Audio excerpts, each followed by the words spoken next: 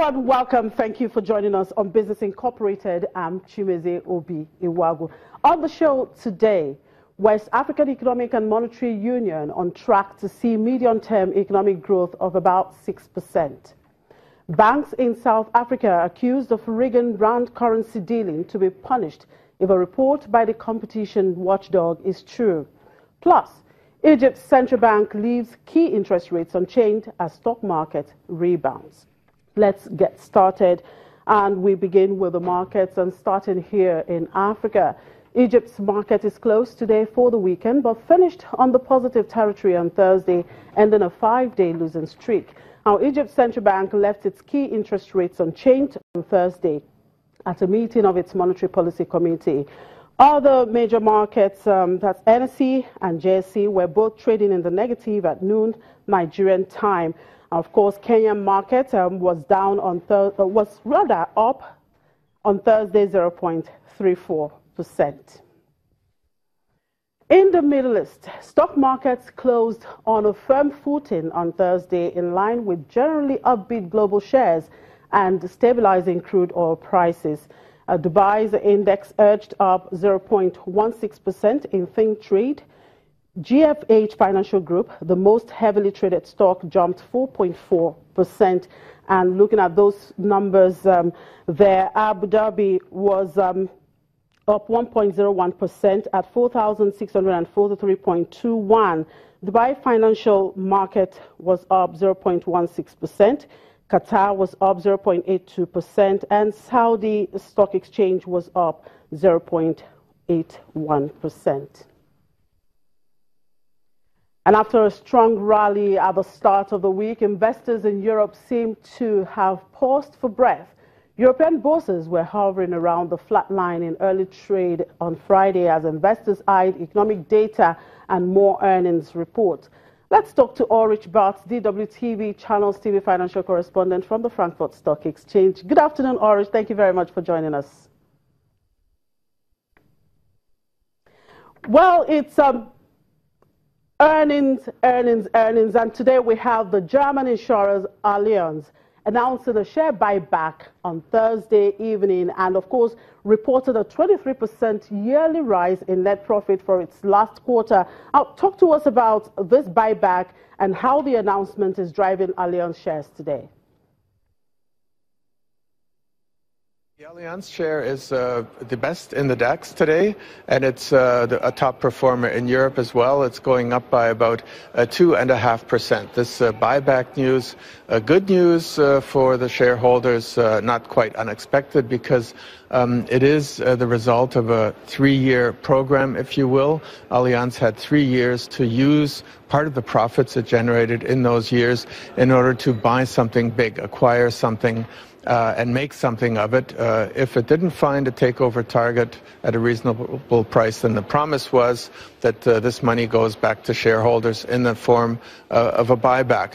And we know that Allianz um, did look at QBE, the big uh, Australian insurer, offered 14 billion for it. Uh, apparently, mm, really nothing official ever having coming out there, but apparently the Australians not willing to enter into a friendly takeover discussion. So Allianz uh, didn't pay any money and uh, now has to basically, uh, according to the regimen of this program, give the money back to the shareholders. in the buyback uh, reduces the number of shares. The profit, though, uh, remains uh, at the point it was, and so it's divided up into less shares, and so each individual shares become more valuable. The reason why the share is going up, the major reason why it's going up today. Well, having the Allianz shares go up, now looking behind you, one would wonder why the uh, DAX is actually tilting downwards. But let's look at um, the Deutsche Börse, of course, considering headwinds in its effort to merge with the London Stock Exchange, uh, that's LSE. You were at the press conference uh, of the German exchange operator yesterday. What did the CEO, Carsten Kengeter, have to say? Yeah, surprisingly little. Uh, surprisingly little on those questions which are of uh, the most major interest to the public and uh, to the media there. Uh, and uh, the most interesting questions were uh, how is the merger with London going through? And what about the insider trading allegations against Carsten Kengeter, the CEO himself? Um, the major question in terms of the merger at the moment seems to be uh, the headquarters in London, and it, it's very, very probable that the local authorities here, the economics minister of Hessen, will say no uh, to a merger because uh, the, the, the, headquarters is outside of uh, the EU, planned to be in London and not in Frankfurt. And he, is said to see major difficulties uh, for the development of the exchange. And in that case, he can say, no, we don't know that. But almost everyone you talk to here is assuming that. Carsten Kengeter said almost nothing on that issue, saying the issue is pending. I'm not going to do any remarks there. Big disappointment. And on insider allegations, well, he gave a personal statement saying that insider trading goes against everything uh, he stands for, but uh, he asked for for patience and not having any questions on it. Journalists uh, asked anyways, and uh, he basically didn't answer any questions on that. He even didn't answer the questions on at what time would he consider resigning. He simply said, mm, those are speculative questions that I won't address. Even that uh, went basically unanswered. Well, Ulrich, um, thank you for that update. But let's um, wrap up um, the week, give us a summary of what the week has been, and of course, uh, an outlook for next week. It's been a week with a lot of highlights. Uh, let me just uh, pick out the major two uh, that I see. On the corporate side, Opel and Peugeot coming out of nowhere, no one having that uh, on, on their board. Uh, Peugeot, Citroën of uh, France, PSA, apparently wanting to take over Opel, and there had been discussions on which even the local management here in Germany, the head of Opel, the CEO there, didn't know anything about.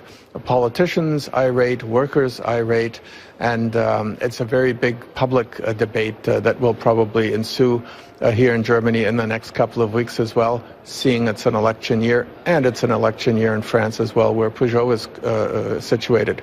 Janet Yellen, the Fed chair, um, also surprising people, uh, opening the door for a possible rate hike in March until her speech this week in front of the Senate, uh, Senate committee uh, in the United States. Everyone assumed March was out. She wanted to wait more for Donald Trump's policies to, to become visible with their effect. No. Uh, she wants to act early in order to prevent any running away inflation or, or running away uh, uh, economies that then the Fed would have to react too harshly to. Next week, I think a corporate wig, a big one, especially here in Germany, Bayer, in the midst of taking over Monsanto, presenting results and presenting an outlook, and also the world's largest uh, chemical company, BASF, also looking at 2016 and into the future. Two major developments next week. Right, we'll sure keep our eyes on Bayer. Thank you very much, Ulrich, for your time. Do enjoy your weekend.